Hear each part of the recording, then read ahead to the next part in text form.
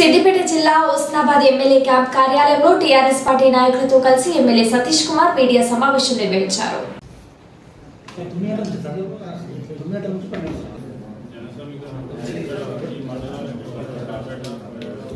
గౌరవ ముఖ్యమంత్రి కేసీఆర్ గారు పలుమార్లు ఢిల్లీకి వెళ్ళి ప్రధానమంత్రి అదేవిధంగా మరి మంత్రులను కలిసి తెలంగాణ రాష్ట్రం లోపల పండే ప్రతి ఒక్క గింజ కూడా వడ్ల గింజ కూడా కొనాలని చెప్పి చెప్పడం జరిగింది. అంటే బాయిల్ రైస్కే కానివ్వండి లేకపోతే రా మిల్స్కే కానివ్వండి తప్పకుండా ఎఫ్సిఐ కొనాలి.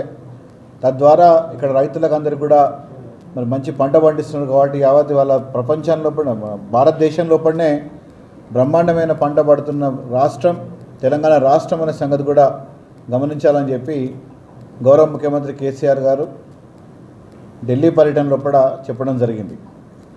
అవన్నీ పక్కకు పెట్టేసి ఒక లేవీ సిస్టమ్ లెక్క ఎఫ్సిఐ వాళ్ళు మేము కొన్ని క్వింటాలే కొంటాం మొత్తం కొనము అని చెప్పి మరి మనకు చెప్పిన సంగతి మనందరం కూడా పేపర్లో చూసినాం. అదే కాకుండా గౌరవ ముఖ్యమంత్రి కేసీఆర్ గారు మన ప్రెస్ మీట్లో కూడా చెప్పడం జరిగింది. ఈసారి అంటే ఈ వానకాలం పండించిన పంట తప్పకుండా ప్రభుత్వం కొంటుంది. కానీ రేపు జరగబోయే ఎండాకాలం పంట మాత్రం తప్పకుండా కొనే పరిస్థితి ఉండలేదు. కాబట్టి మనందరం కేంద్ర ప్రభుత్వం మీద ఒత్తిడి తీసుకొచ్చి పంట కొనేటట్టు చేయాలని చెప్పి చెప్పిన సంగతి మనం తెలిసిందే. ఎన్నిసార్లు పలుమార్లు చెప్పినా కానీ మరి అటు ఉత్తర ఉత్తరాది రాష్ట్రాల్లో కూడా పంజాబ్లో కూడానేమో ప్రతి ఒక్క గింజ కొంటామని చెప్పి కేంద్ర ప్రభుత్వం అంటుంది. మరి తెలంగాణ కూడా భారతదేశంలో ఉన్నది. మరి తెలంగాణలో పండించే పంట కూడా తప్పకుండా కేంద్ర ప్రభుత్వం కొనాలి అని చెప్పి డిమాండ్ మీద రైతాంగం అంతా కూడా ఏకమై రేపు పన్నెండో తారీఖు జరగబోయే దారుణాల్లో కూడా అందరు పాలు పంచుకోవాలి మరి కేంద్ర ప్రభుత్వం తప్పకుండా మన మాట వినాలి మన రైతులకు సుభిక్షంగా సంతోషంగా ఉండాలి. ప్రతి ఒక్క పండించిన ప్రతి ఒక్క గింజ కూడా కేంద్ర ప్రభుత్వం కొనాలనక ఉద్దేశంతో ధారణ చేయడం జరుగుతుంది కాబట్టి హుస్నాబాద్ నియోజకవర్గానికి సంబంధించిన రైతులందరూ కూడా ఈ ధారణలో మన మాతో పాటు పాల్గొని కేంద్ర ప్రభుత్వం మీద ఒత్తిడి తీసుకురావాలని చెప్పి ఉదయపూర్వకంగా కోరుతున్నా కోరుతున్నాను అందరినీ కూడా. మరి అదే విషయంగా మాకున్న ఏడు మండలాలల్లో అటు ఎల్కదుర్తి కానీ బీందరపల్లి అదేవిధంగా అక్కన్నపేట హుస్నాబాద్ కోహెడ చిగురుమావిడి సైదాపూర్ అన్ని మండలాలు కూడా హుస్నాబాద్లో పడిన దారుణాకు వస్తాయని చెప్పి కూడా నేను తెలియజేస్తున్నాను. ఇక్కడికి వెళ్ళే మనము చాలా పెద్ద ఎత్తున మరి కేసీఆర్ గారు ఇచ్చిన పిలుపు మేరకు ఈ దారుణ చేయాలని చెప్పి తప్పకుండా కేంద్ర ప్రభుత్వం కళ్ళు తెరిపేయాలని చెప్పి కూడా అందరినీ కూడా సభ్యులంగా కోరుతున్నాను. పొద్దున తొమ్మిదింటి నుంచి వెళ్ళి మధ్యాహ్నం రెండింటి వరకు ధర్నా నడుస్తుంది. అంబేద్కర్ చౌరస్తాలో ఈ కార్యక్రమం చేయబోతున్నాం అని చెప్పి కూడా మీ అందరికీ తెలియజేస్తున్నాం. రైతులు సూర్యాపేట జిల్లా అనంతగిరి మండలం తంబెర గ్రామంలో పీడీఎస్ బియ్యం వ్యాపారం జరుగుతుందన్న అనుమానంతో ఎస్పీ ఆదేశాల మేరకు తెల్లవారుజామున కాటన్ సెస్ నిర్వహించారు.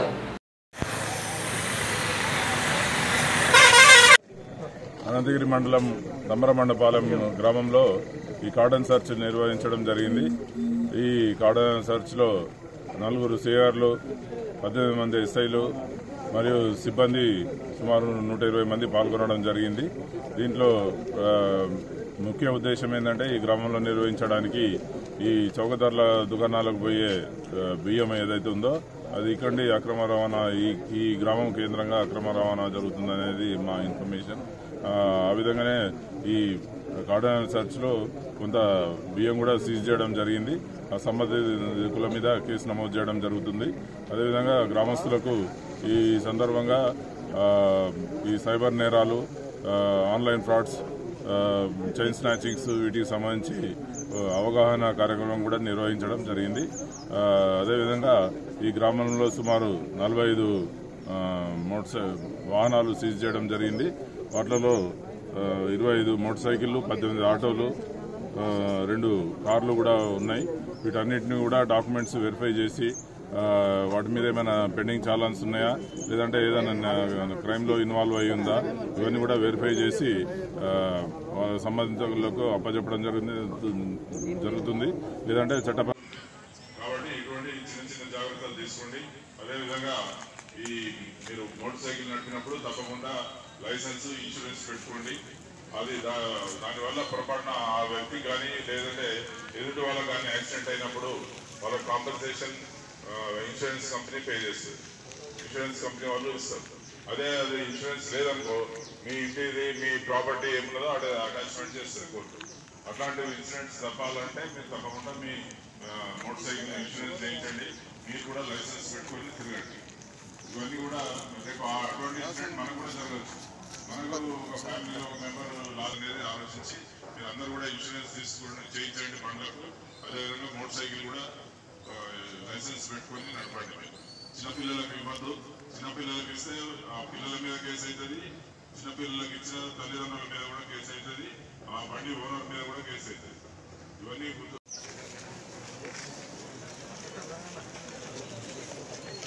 మెసేజ్ దండం పెట్టాలి కదా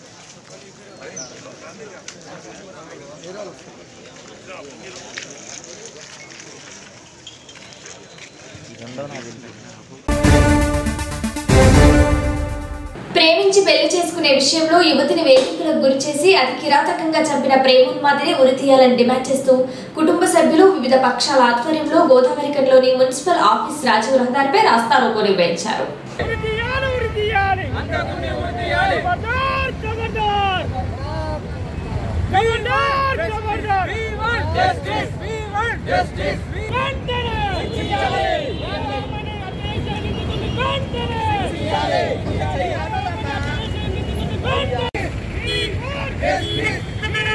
Justice!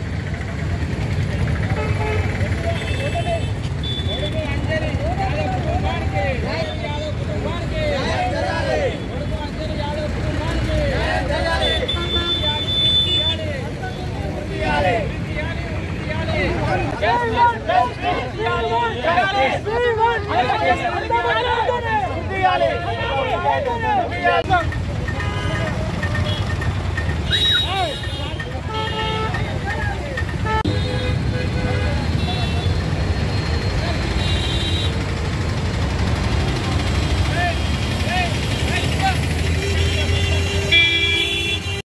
నిన్న జరిగినటువంటి ఎనిమిదో కాలనీ కేకే నగర్ ప్రాంతవాసి గొడుగు అంజలి యాదవ్ హత్య ఈ సమాజం క్షమించరానిది. ఎందుకనంటే ఆడపిల్ల రోడ్డు మీద తిరగలేని పరిస్థితి ఈ ప్రభుత్వం కావచ్చు పోలీసులు కానీ కల్పిస్తున్నారు. ఒక ప్రేమ పేరుతోటి ఆ అమ్మాయిని బలవంతం చేయబోయి ప్రతిఘటించే క్రమంలో ఆ అమ్మాయిని హత్య చేసినటువంటి చాట్ల రాజ్కుమార్కు వెంటనే ఈ ప్రభుత్వం ఉరిశిక్ష వేయాలి. ఆ కుటుంబానికి అంజలి యాదవ్ కుటుంబానికి ప్రభుత్వం న్యాయం చేయాలని చెప్పేసి మేము యాదవ్ సంఘాలు ఇక్కడ గ్రామస్తుల తరపున మేము హెచ్చరిస్తున్నాం డిమాండ్ చేస్తున్నాం. ఎందుకనంటే ఈ సమాజంలో ఒక ప్రేమ పేరుతోటి హత్యలు చేయడం గొంతు కోసి అతి కిరాతకంగా మానవీయ విలువలను మర్చిపోయి ఈ హత్య జరగడం అనేది నిజంగా మన సభ్య సమాజం ఎటు వెళ్తుందో ఎటు వెళ్తుందో అనేది మనం కొద్దిగా ఆలోచన చేసుకోవాలి. ఆలోచన చేసుకోవడం కాకుండా ఇలాంటి హత్యలు చేసినటువంటి నేరగాళ్ళను ఎట్టి పరిస్థితిలో క్షమించకుండా న్యాయవాదులకు కూడా ఇక్కడ నుంచి మేము ఈ వేదిక నుంచి కూడా ఒక పాదాయ వందనంతో ఒక విన్నపం చేస్తున్నాం. ఇలాంటి నేరస్తులకు న్యాయ సహాయం కానీ న్యాయ సూచనలు కానీ ఎట్టి పరిస్థితులలో వాళ్ళకు అందించద్దని చెప్పేసి ఈ వేదిక ద్వారా వాళ్ళకు మేము చేతులెత్తి నమస్కరిస్తున్నాం. రైతులను మోసం చేస్తే కఠిన చర్యలు తప్పవని డిఆర్డీఓ పీడీ గోపాలరావు హెచ్చరించారు. సిద్దిపేట జిల్లా మిరుదొట్టి మండలం ధర్మారం గ్రామంలోని వరిధాన్యం కొనుగోలు కేంద్రాన్ని ఆకస్మికంగా సందర్శించారు.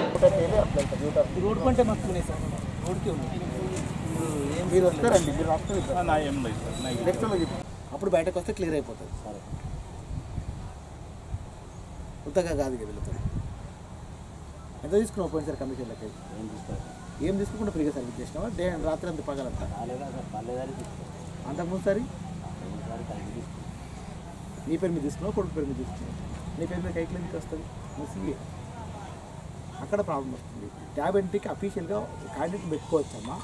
నియమించనైనది ట్యాబ్ ఎంట్రీ చేయటకు లేదా కొనుగోలు కమిటీలో వీళ్ళు న్యాయం రాసుకొని తీర్మానం రాసుకొని పెట్టుకొని రేపు తప్పు ఒప్పులు అయితే ఆయన మీద యాక్షన్ తీసుకుంటారు.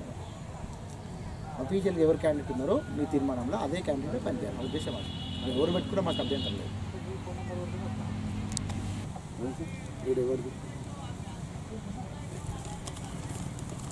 వీడు సంతకం లేదు కదా. వీళ్ళు సిట్టింగ్ ఆఫీసర్ది రైస్ మిల్ అయిన సంతకం ఏంటి? ఈడ కనబడతలేదు కదా. ఈడ కూడా ఈడ కనబడతలేదు. సెంట్ కొన్ని కావాలి గీడ బియ్యం పెండింగ్ అది క్యాబ్ ఎంట్రీ అయిందా ట్రక్ సీటు? ఎందుకు కాలేదు?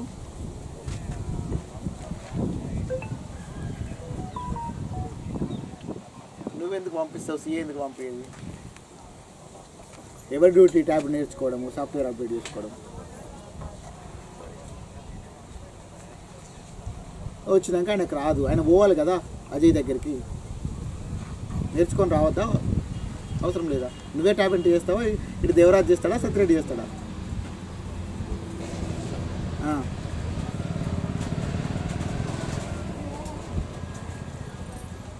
ఇవాళ ఎప్పుడు ఏ టైం వరకు ఇచ్చేస్తావు? నాలుగు గంటల వరకు ట్యాబ్ నేర్పిస్తావు? రమ్మని ఇప్పుడు నువ్వు ఎక్కడున్నావు?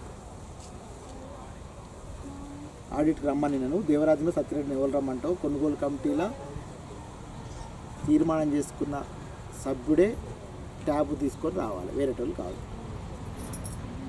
అర్థమైందా? ఇక్కడ ఎంతమంది ఒక గ్రామ సంఘమా రెండు గ్రామ సంఘం కొనుగోలు జరుగుతుందా? రోడ్ పంటే మీరు వస్తారండి. మీరు? ఎంత పెడుతున్నారు?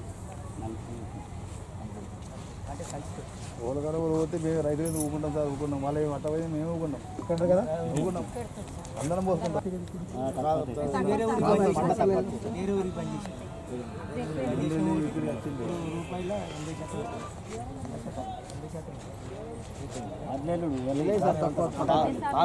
ఇప్పుడు ఎనభై క్వింటాలు అన్నట్టు పెట్టి.